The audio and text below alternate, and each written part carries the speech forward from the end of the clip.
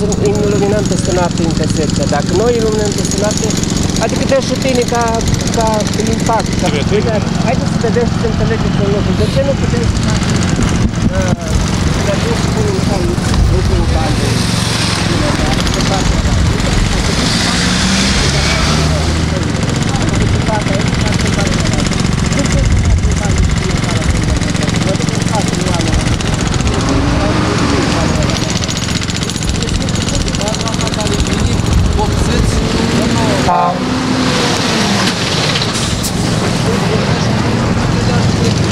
Da, dar se pune cum? Dar să le faci, pune pe dai spre pune, o să vedem.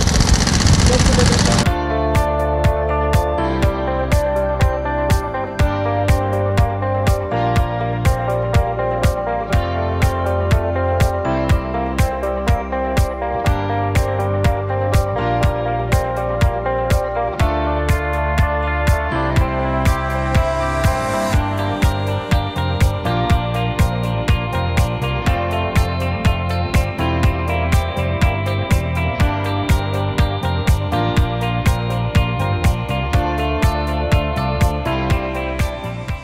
Am venit la intersecția de la Girov, așa cum uh, știți, am mai fost aici la această intersecție.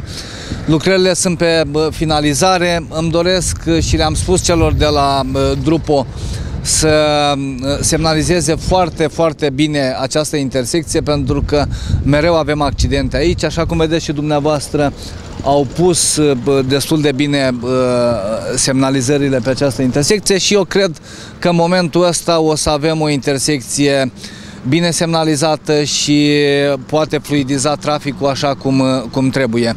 Sper ca în câteva zile să fie gata și Mulțumesc celor din presa din județul Neamț pentru semnalele de alarmă care le-au tras vis-a-vis -vis de această intersecție și cred că toate punctele mai fierbinți din județul Neamț vis-a-vis de uh, traficul uh, rutier și unde avem probleme cu accidente trebuie rezolvate. Mă voi ocupa personal și voi merge în fiecare din aceste locuri pentru că viețile oamenilor uh, sunt, uh, uh, este cel mai important să avem grijă de viețile oamenilor și să nu lăsăm aceste intersecții nesemnalizate, intersecții unde se întâmplă mari nenorociri.